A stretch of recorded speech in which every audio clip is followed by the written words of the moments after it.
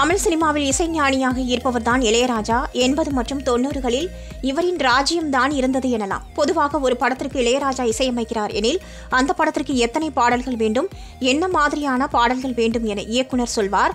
Ilaiyaraaja tune போட்டு காட்டுவார் அது இயக்குனருக்கு பிடித்துவிட்டால் அது பாடலாக மாறும். சில படங்களுக்கு இளையராஜா போடுவதுதான் டியூன் அவர் என்ன டியூன் போட்டாலும் அதை ஓகே செய்த இயக்குனர்களும் உண்டு. ஒரே நாளில் பல படங்களுக்கு இசையமைத்து விடுவார் இளையராஜா. ஒருமுறை இளையராஜா ஏழு டியூன்களை போட்டார். அந்த ஏழு பாடல்களையும் ஒரே படத்தில் பயன்படுத்த வேண்டும்.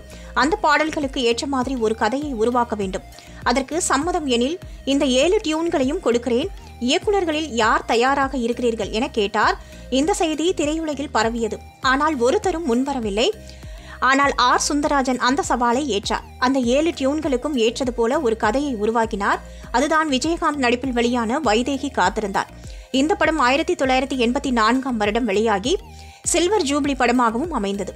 ஆர். சுந்தரராஜன் இயக்கிய பெரும்பாலான படங்களில் இளையராஜாவே இசையமைத்திருந்ததும் குறிப்பிடத்தக்கது. இந்த மாதிரி நியூஸை கண்டினியூஸாக கேட்க ராஜ் டியூப் சேனலுக்கு லைக் பண்ணுங்க ஷேர் பண்ணுங்க சப்ஸ்கிரைப் பண்ணுங்க பெல் பட்டனை பிரஸ் பண்ண மறந்துடாதீங்க.